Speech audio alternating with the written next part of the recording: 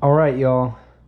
Um, very often I'll travel or I'll have a client travel and they'll say, Man, I just don't know what to do. It's impossible to stay on track because I don't have any control over my food. Um, two things we're going to do for this video. This is the, the simplest possible meal prep I can think of.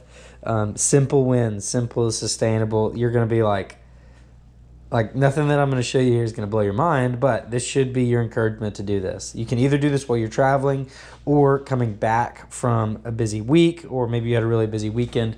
You're getting back into the week and you um, you want to make sure you start off ahead of the game. Look, this is the simplest way I could possibly break down meal prep. So we're gonna do beans, rice, chicken. Um, and then one thing that I might do with this is if I were packing a lunch for something or if I were away, I would just do baby carrots and uh, and those individual packs of hummus, like for a little bit more veggies. Um, but so I, you can do this in a hotel. Uh, you might, it, it would be really helpful to just have a couple of these on Amazon. Um, it's like 20 bucks for like 25 of them or, or 40 of them or something. Um, you can take these to the hotel with you and I just love this. Like busy moms, busy dads, everybody's busy. And some people really don't have more than 10 minutes to throw their food together.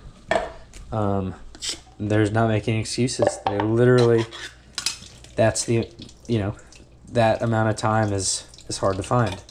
But unfortunately, this does kind of remove the excuse. Well, it's not, yeah, it can still be done. I'm not trying to be too, my clients know I'm, I never, I'm never unfair. You really do only have 10 minutes. So I'm going to go ahead and do about, about 130 grams of chicken per um, I do buy the cans with the pop top, even if I'm at home. Uh, you know, it saves you a couple of minutes, and uh, that might not seem like a lot, but the simpler this system is, the, the more likely you are to follow it and to keep doing it. Okay, that's 127. Just get a little bit more of this. 130. All right. There's one. Let's go ahead and pull the breast off this for two. 130 grams would actually be that's a slightly smaller portion for me but for most clients that's going to be plenty. If you're doing that twice a day 130 grams of meat twice a day a protein shake some eggs in the morning you will hit your protein goals.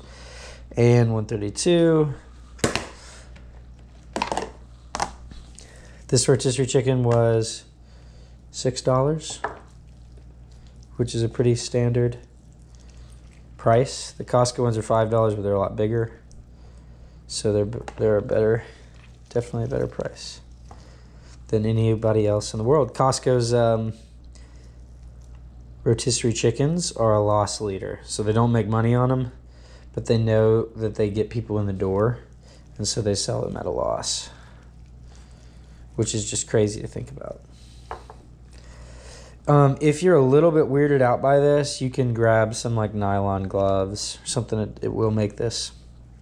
I mean, this doesn't bother me one bit, but if you've worked in the kitchen for a long time, it won't bother you either. But if you are not a foodie, you'll want to have this.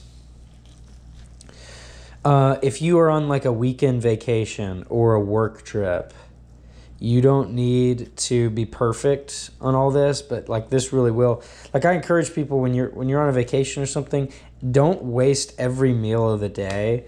Like don't eat three meals a day at a restaurant just because your like your gut's gonna feel bad your energy's gonna suffer. So what i do is i tell people like hey enjoy dinner. Um, but keep lunch really really simple and keep lunch within your goals. And then be really simple for breakfast as well or, you know, it could be the opposite. Like you're going to do a fun brunch because you're in New York City or something. Well, enjoy the brunch, but don't like, don't enjoy the brunch and then enjoy uh, a big lunch and then a dinner and then a dessert after and then a late night meal. You know, you, there's, you know, just be, be reasonable. This is one thing that can keep you on track. I may only get three meals out of this. I could have gone smaller on the chicken portion, but it'll be fine. Um, I have a little bit of a busy week, so I want to not uh, prep so much. But one thing that I'm also finding is when I don't have a busy week, it's still really fun to get ahead on my food because it saves me time regardless, and I can spend more time doing fun stuff. So even if my schedule is like more wide open, like on the weekend, I still don't want to have to come back. Like if I'm out at the park or going to the Smokies, I don't want to have to come back and and uh, make myself a meal and spend an hour doing that. So sometimes I'll just cook and prep stuff like this beforehand. So yeah, we're gonna get three meals out of this. So six dollars. So that's two dollars a meal for your meat. Much better than a restaurant, which would charge you fourteen dollars for chicken, beans, and rice.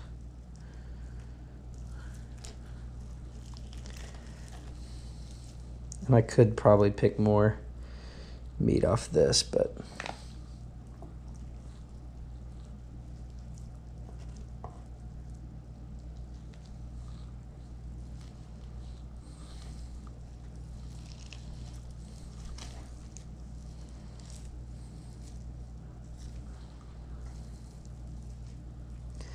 All right. There's one more. Nope, that's pretty much pretty much all the meat there. All right.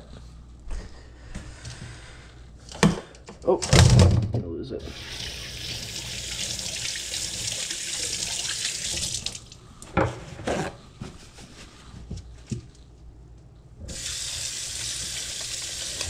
So two cans divided by three.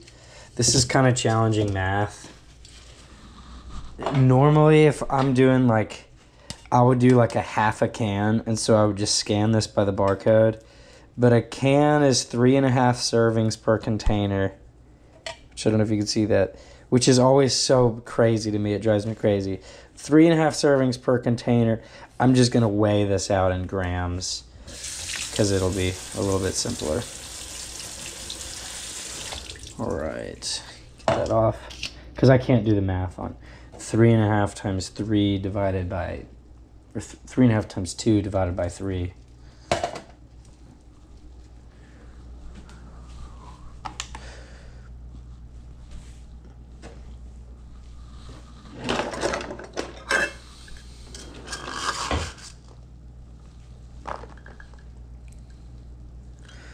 Right.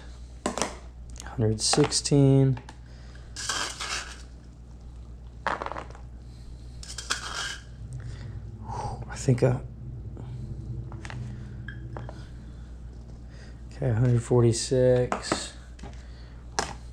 I think 146 might be the average. 142. Let's see, let's see. 162.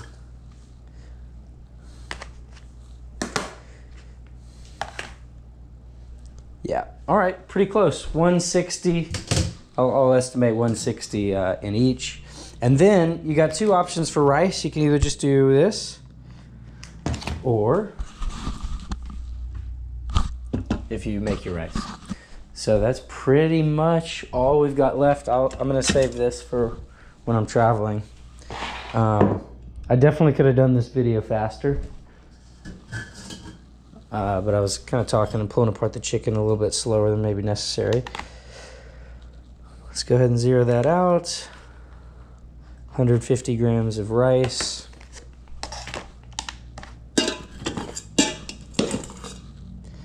about the same in each one.